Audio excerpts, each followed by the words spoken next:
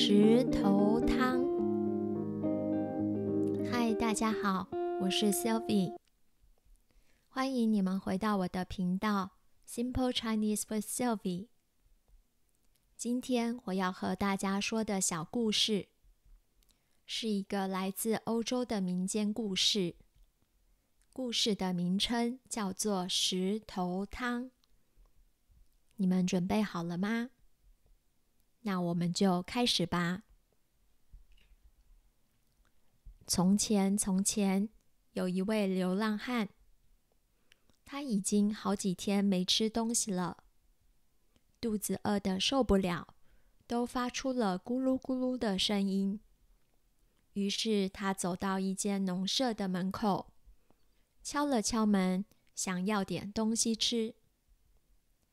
农舍的女主人。是个自私又势利眼的人，看到流浪汉穿得破破烂烂的，心里非常瞧不起他，就找了个借口说：“我丈夫现在不在，所以我不能让你进来哦。”想要三言两语就把流浪汉打发走，冷淡的语气完全掩饰不了他对眼前这位。看起来像乞丐的男子有多么的鄙视？这样子啊，流浪汉说：“那你要不要用用看我的炖汤匙？”他一面回答，一面从口袋中掏出了一块毫不起眼的鹅卵石。炖汤匙，女主人一听，眼睛忽然亮了起来。对屋外衣衫褴褛的陌生人产生了浓厚的兴趣。是呀，流浪汉说：“如果有一个装满水的大锅子，再烧上一把柴火，我就可以示范给你看这块炖汤石要怎么用了。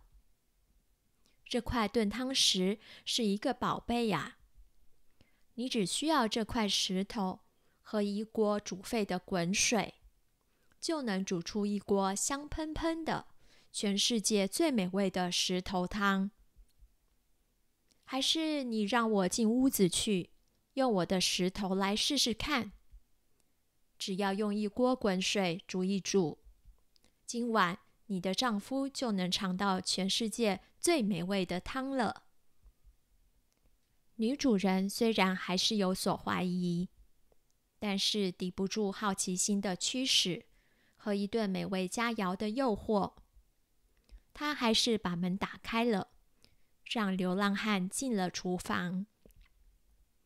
他们很快的煮好了一锅滚水，流浪汉把石头丢进滚烫的水中，煮了一会儿，接着他装模作样的舀起一汤勺，浅浅的尝了一口。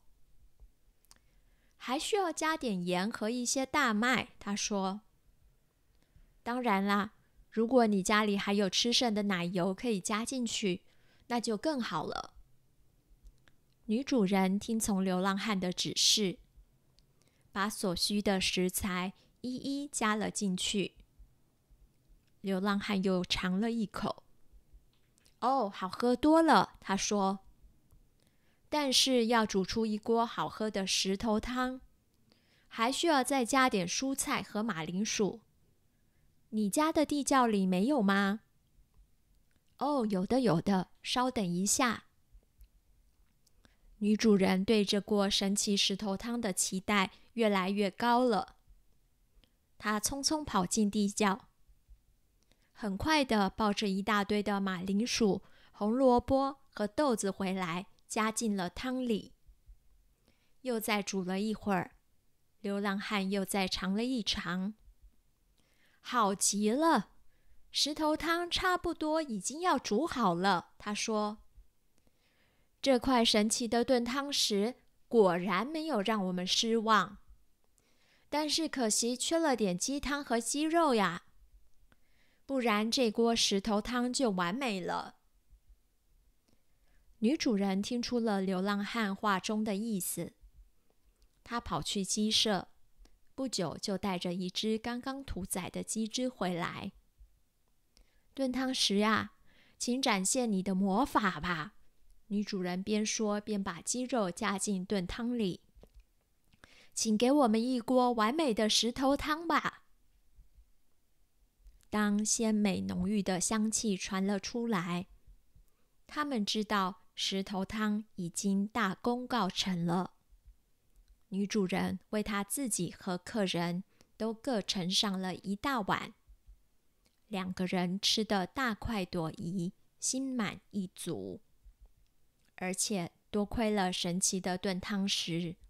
他们还留了一小碗石头汤给女主人的丈夫当晚餐呢。